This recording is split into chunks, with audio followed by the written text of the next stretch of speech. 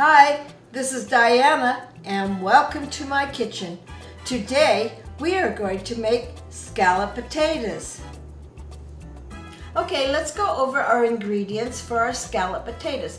I sort of call this an old-fashioned scallop potatoes because my mom used to make them this way for me. And um, we have our scallop potatoes. We have our potatoes sliced about like this. I don't know if you can see, kind of thin.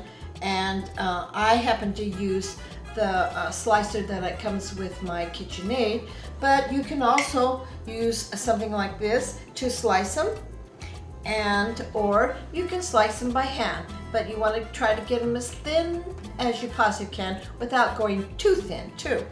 So uh, then we have about one onion and we've cut it kind of in ringlets like that and we have we have one stick of butter and of course this one I'm using half and half with because we we're not putting any cheeses or anything like that in it so we want it kind of creamy so half and half really helps make it creamy and I can't tell you exactly how much half and half to use because when you put your potatoes in here you want to cover them almost three quarters of the way, uh, covering the potatoes with your with your uh, milk. So it depends on what size of dish you have, whether how much milk or half and half that you're going to put in it. So now let's get ready to layer our scallop potatoes. We're going to start layering our potatoes. Now also, we're gonna add salt and pepper, but I, I just want you to remember, add salt and pepper to your taste. I don't happen to like a lot of salt and pepper. We don't use a lot of salt and pepper in our family, but you layer it how you like it. So let's start with this. Uh, we're gonna start with the potatoes. We're just gonna layer these down here. And it doesn't have to be perfect, just adding some potatoes to the bottom. You just want to cover your bottom.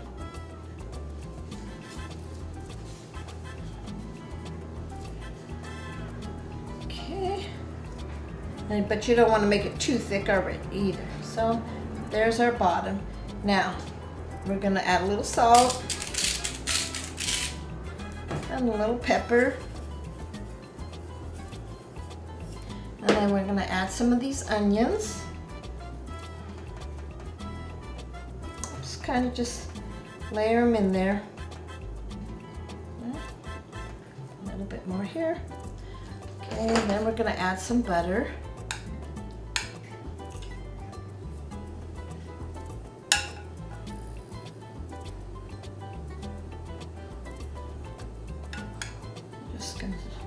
Put it around here like this.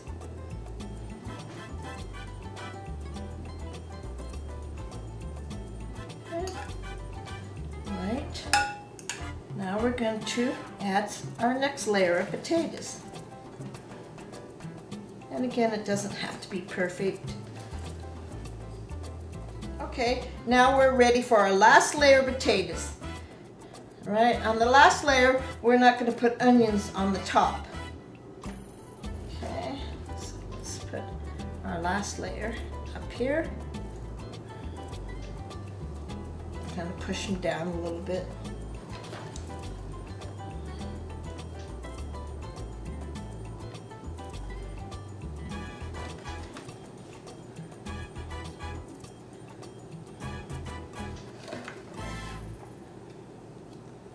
Okay. I think that's about enough potatoes on top. Right, we're going to add a little salt, a little pepper, and a little butter so that our potatoes don't get dry on top. We're just going to kind of break this one up a little bit kind of just break it up. Just kind of break the butter up so that it gets all over because you don't want too much butter. Okay? All right, now we're going to pour our half and half in.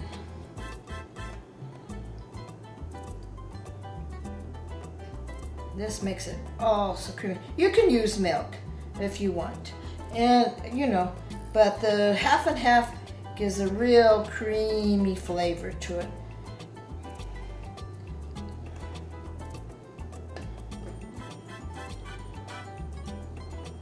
Until it's about three quarters of the way full. Okay.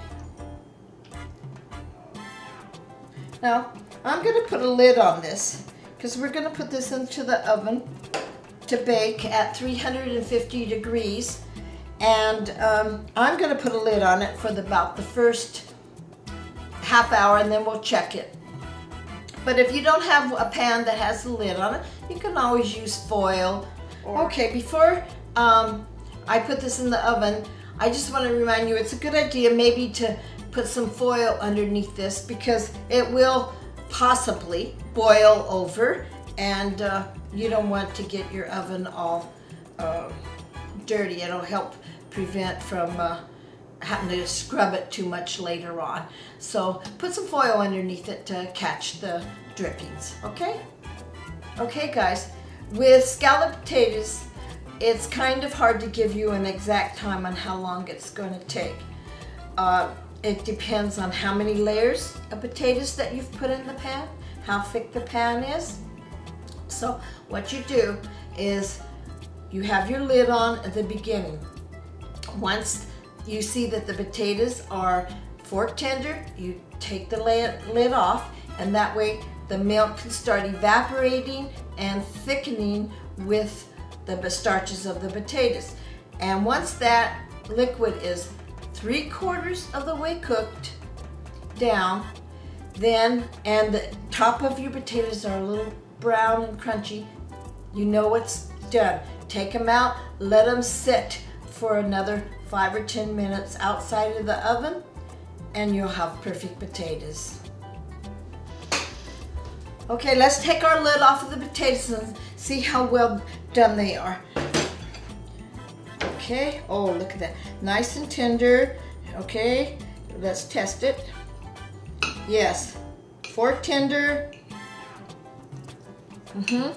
Not quite, not quite done, but done enough so that we now, we're gonna take the lid off and let all the um, juices get absorbed and um, into the potatoes. So let's get them back in the oven. Okay guys, as you can see, our potatoes are brown on the top, our liquid has been absorbed, and um, we're gonna dish some up.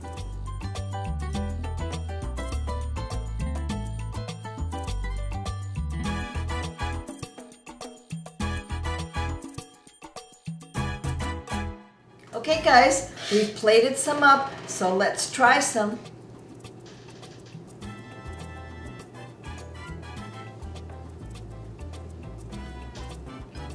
Mm.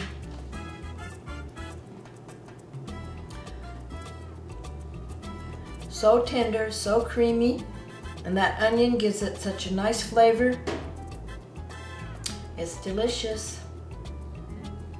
Well, I hope you enjoyed your time in my kitchen. And I hope you will try this scallop potato recipe. It was one of my mom's favorites. Now remember to give me a thumbs up, comment me, and subscribe. And the recipe will be in the sub bar below.